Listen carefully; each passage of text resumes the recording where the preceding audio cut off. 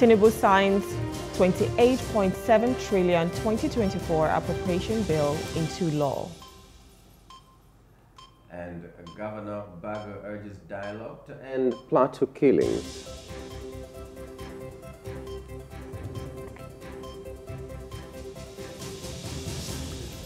We'll also have Of the Press, where we'll review the headlines on our daily newspapers, and uh, that's how our program is going to be. It will follow, uh, all this will follow the top trending issues that we have on our plate this morning. By the way, good morning and welcome to the program. My name is Nyamgul Agaji. My name is Rume Paulson. Good morning.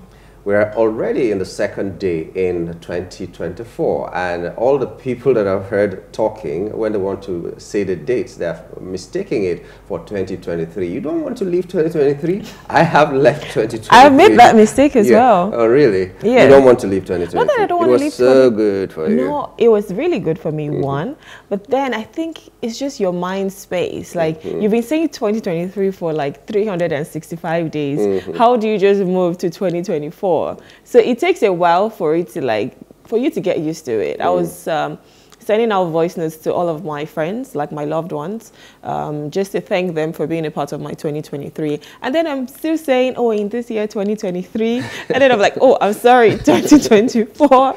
so yes, it, it kind, it kind of like, you, you need to find that synergy into 2024. You have to ease into it, basically. Mm -hmm. uh, well, it's like everything else. You think uh, you can't wait to leave it, and then when you leave it, you start to miss it uh, unconsciously. Oh no, like, I don't miss it's it. Like when I'm happy saying, to move on. Yeah, you're happy to move on, but you're still remembering it. Not you know, Instead of talking about 2024, somehow in your subconscious, you're like, you're still in 2023.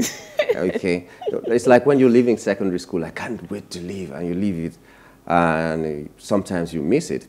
You enter into the tertiary institution, you can't wait to leave this university. Mm -hmm. When you mm-hmm. leave it, sometimes you miss it. Yeah. In spite of all the problems and the assignments and yeah. the tests and all that. I mean, bring it circling back into Nigeria, I've heard people say, oh, I miss Goodluck's administration.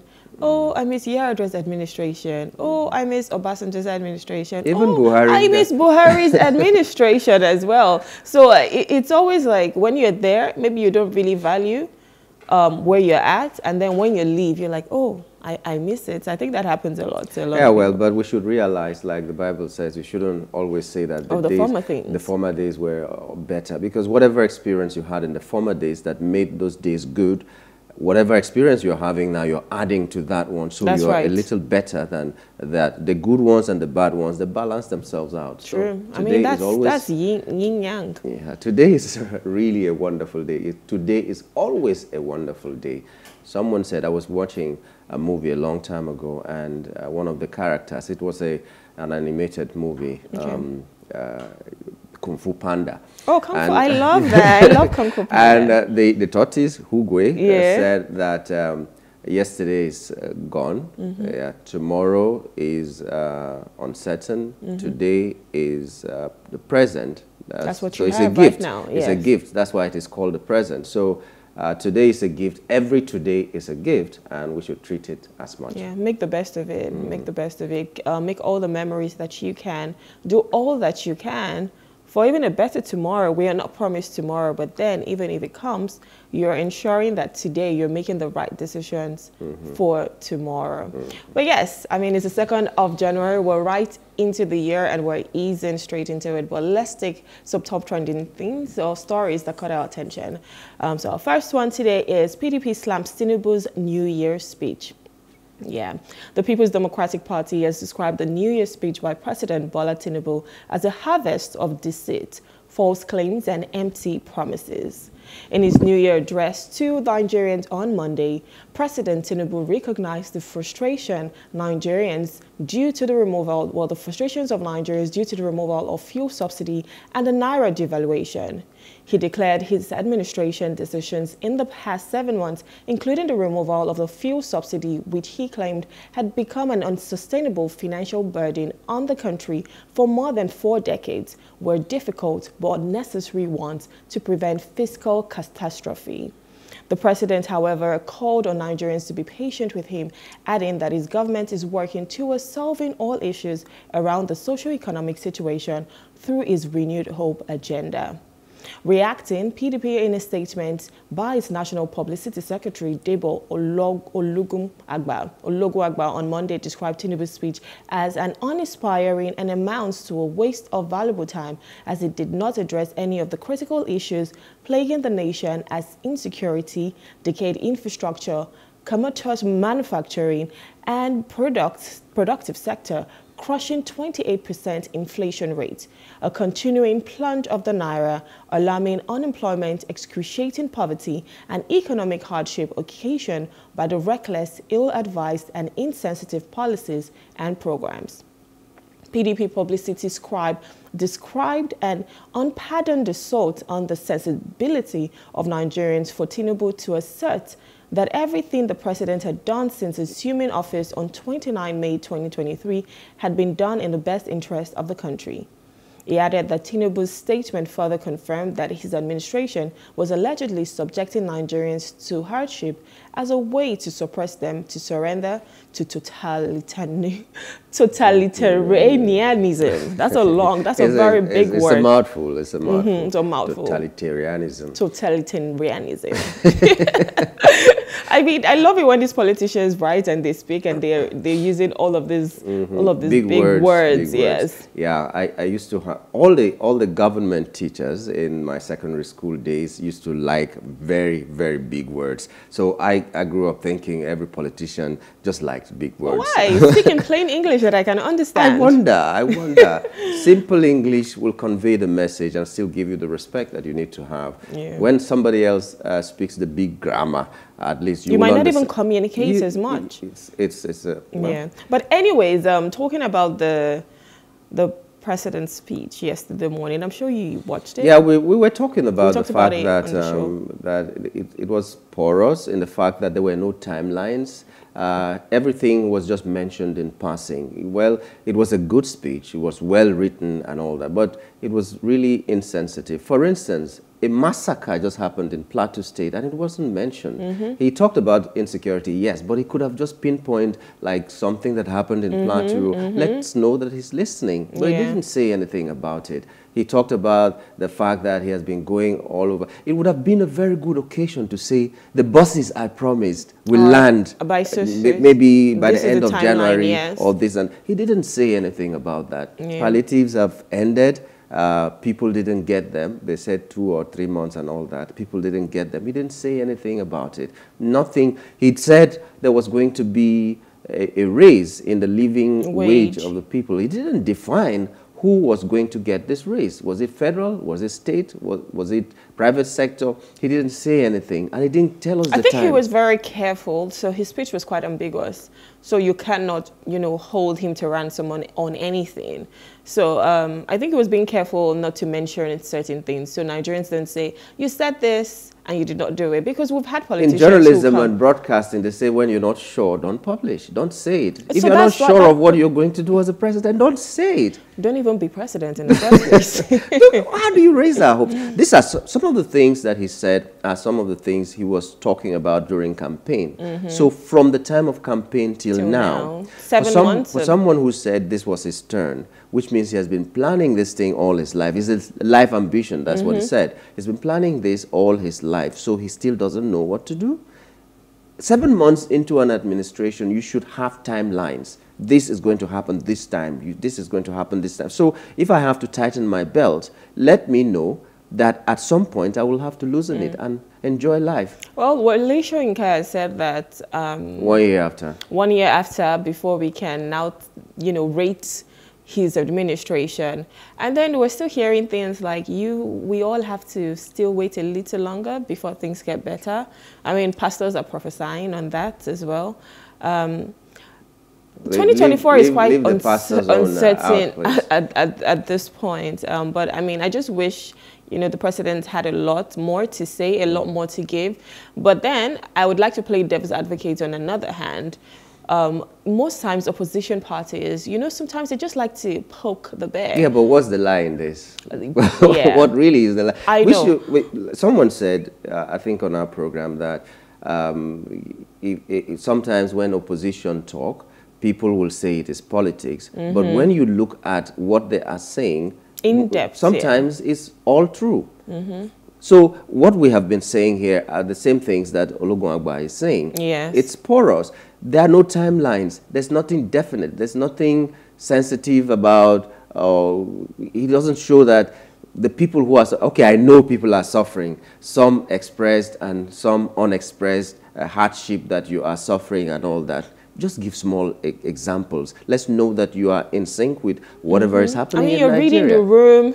Everyone can relate to you, like a president who hears and listens and feel the pains of Nigeria. And by now, he should know that the 5% uh, discount was a failure. He The should have said so- 50% of the 50%, buses, sorry, right. was a failure. He should have said, we will go after these people if this thing didn't work. Or whether Yeah. it is going, it has worked, and this is why maybe you didn't experience it all that. He didn't say anything like that. We're Mm-hmm. Going to go into a good year, 2024. It was a 15 minutes, 15 minute speech of um, maybe nothings. Well, let's let's wait and see. You are the devil's advocate right Yes, now. I even, always love to Even I that. have tried. I'm trying to be A, be- uh, a better devil's a- a- advocate this year. But the second top trending issue that caught our attention is that the CDS assures communities to be free of bandits in 2024. I hope this is not just talk as well. The Chief of Defense Staff, General Christopher Musa, has said he will rid communities that have been uh, stifled by insurgents and uh, bandits. Uh, General Musa made this declaration on uh, Channels Television's made in an episode of The Morning Brief on Monday, where he called on support, uh, called for support from the public to meet this goal. And he said, and I quote, "We are working with the state government to identify these areas. This year, God willing, we will make sure bandits hold no community." Uh, members of the community will be able to leave the IDP camps and be able to go there. End of quote. The nation is yet to heal from a Christmas Eve attack by marauding assailants on Bokkos and Barkin Ladi local government areas in Plateau State that left 200 people dead and hundreds more injured. Repeated attacks on the region in the space of days have left many disillusioned with the efforts of security personnel at, at tackling the growing crisis, which General Musa says collaborative efforts are the only feasible means of ending acts of terror in the region. The Chief of Defense Staff claimed the motive behind the Plateau carnage was to embarrass everyone and take the government for a fool. On the challenges the military faced in their fight against banditry, General Musa said they were of a political nature that required decision-making from the pol- political class. General Musa also bemoaned criticisms from various quarters over the military's eff- effect on ending the scourge of banditry. Cough. His cough. Well, uh, General Musa is promising us that, um, you know, yesterday or so, um, the Senate was saying that we're going to invite him and other service chiefs to come and explain again and give them specific strategies and all that, how to end this thing. And then the next day, the very next day, he came out with a statement saying uh, this. Now, how do you even explain what does he mean? Maybe you should know. What does he mean when he said um, it is of a political nature? Does it mean that if it's a pol- of a political nature, they cannot, cannot prevent it? They cannot do anything about it until the president says something or the National Assembly says something. I do not understand. Well, so you know, we've heard of stories, um, alleged stories that even these politicians are the ones funding this banditry. So it's almost like you're, we're all together, we dine together. There is not so much we can do. But then, whatever is wrong is wrong. These are lives of people, humans. They're not chickens or cattle. You have to be able to protect these lives. And I, and I heard that um, they had about 20 something distress call from Plateau State Yeah. on, on that day.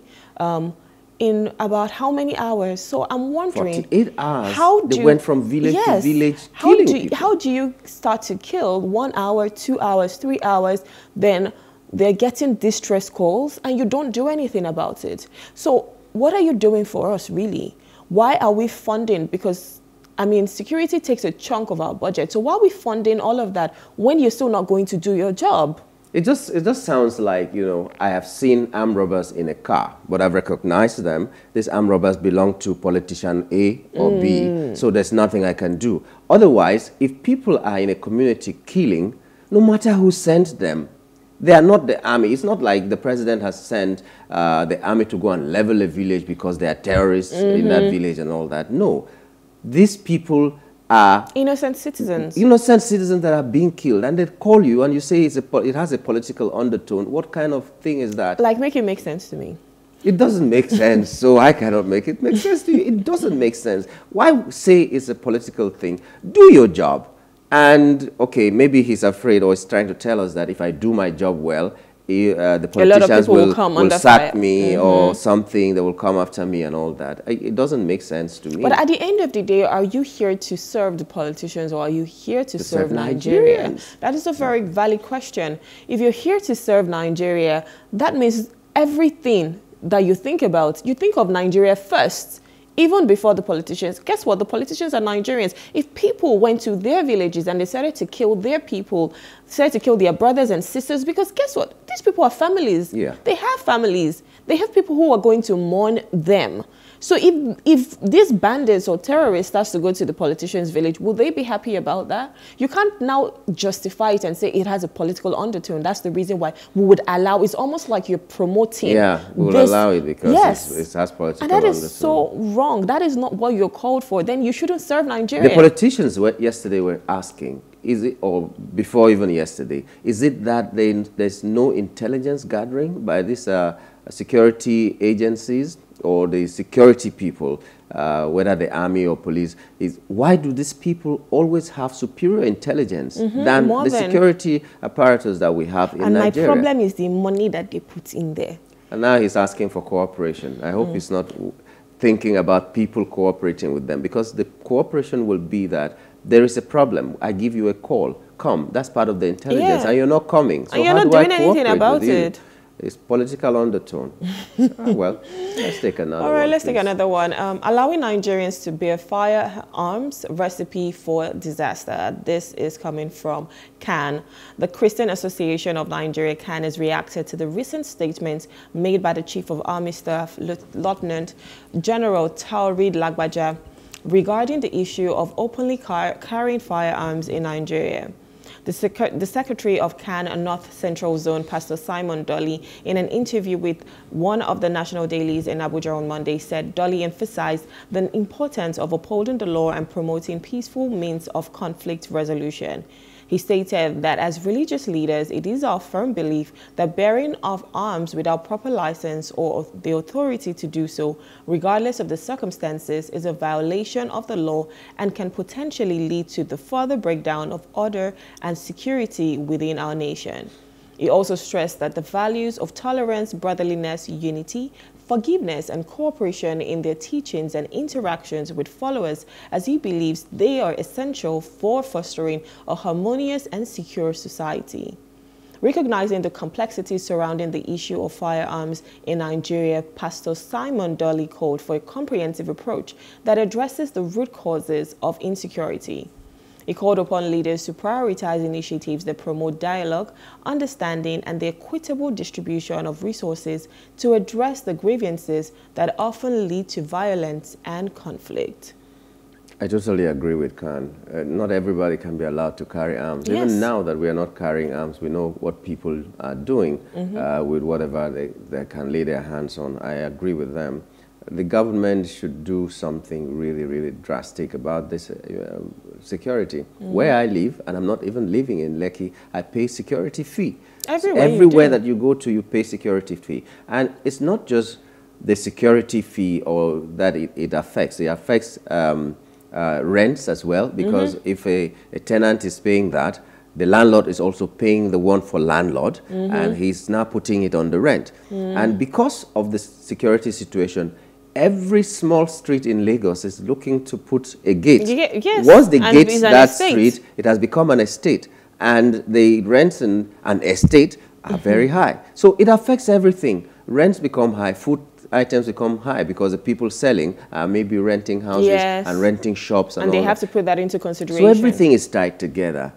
Work on the security. Otherwise, going to every village in the world to look for people to come and invest in Nigeria will absolutely not work. Yeah. It I- will not work. I totally agree. And, and um, talking about firearms, I know that in the US there is gun violence. You see people just move into shopping malls, even into schools, Mm-hmm. And they just go on a spree and kill people. And so if we're allowing people to have firearms, you know, without licenses in, la- in Nigeria, Even with licenses. even with license, like I mean, you should be able to verify. Are you? Why do you need it? So we, we don't want a situation whereby everyone can easily afford a gun or a firearm because that is a disaster waiting to happen. Guess what? Anybody, I can just say, yeah, I'm cool. I don't like how you smiled at me today. Why are you looking at me? And that's it. Because I feel like I have some level of power. It gives you power. Right now, we're grappling with a drug problem, and we know how these people who get high, the kind of things that they do, Yes, and then you the put a gun health. in the hand of one of those. My goodness. So, I, I, well, it should never happen. It should never happen. The government should protect us. The police, the army, the air force, the navy. Those are the people we are paying with Mm-hmm. taxpayers' money to protect us. We shouldn't be paying for security again. Mm-hmm. And even if we are paying for security, let us be secure. Not a situation where you can't travel anymore. You can't sleep in your house. Mm-hmm. Because with- they're unknown gunmen. Yeah, everywhere. So. And, and, and talking about that, um, I wonder how they get them. Because I want to believe our security agencies are the ones, you know, licensed to have these firearms. Do they sell them when they get them?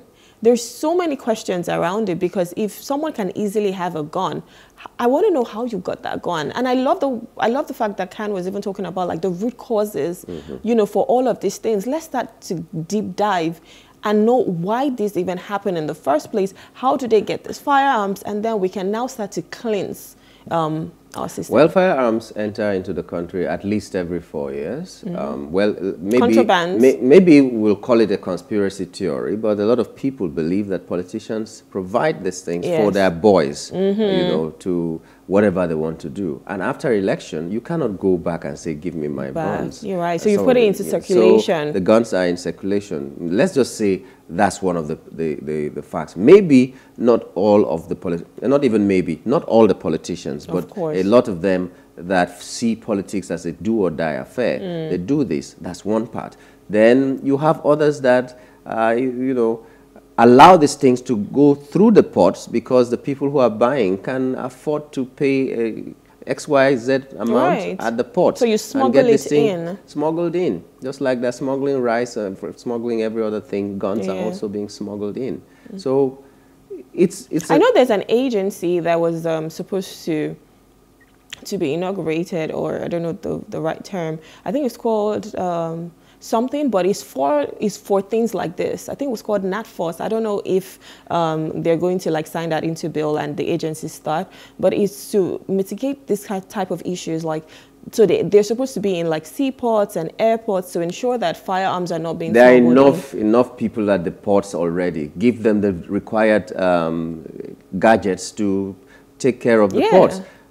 Let's go digital. You can find out these things when they're coming in. Give them drones so that they can, you know, go to Mm-hmm. an aerial view Yes, to see you are not giving are- them this, and you're bringing another An agency The that you have to pay already- more money to. The people there are already enough. Give them what they require and make them use them. Because you go to the ports now, maybe the CCTV cameras even are not Not working, working. before you talk of other things. Because if these things work, a lot of things that go on at the ports will not go on. Yes, because if the they're CCTV is working- it. So make sure that they're using what you're giving them. Mm-hmm. Give them the gadgets and then make sure they're using them. That's how you. you- Yeah, because if the not bring it- CCTV is working, I will be mindful to want to take bribe Mm-hmm. to smuggle your goods in, right? Because I know that someone there is someone is there to check me. So if we don't have all of these things that, that we need, then we're, It's we're just just, like a joke. they- they've killed people in Pla- Plateau State, and you're setting up a committee to find find what people are dead already. What is the committee coming to do? Damage so is done. is not, is not bringing more agencies to our ports. Give them the right things to work. Simple as that. Yeah. Give them drones, give them other gadgets. There are things that can detect when all this metal are coming into the yeah. country. I think we had a we had a guest, you know, that yeah. talked so, about this as well. Well, anyway, I think we let's wrap it up on the top trending and take a short break. And when we return, we'll be looking at the papers. Stay with us.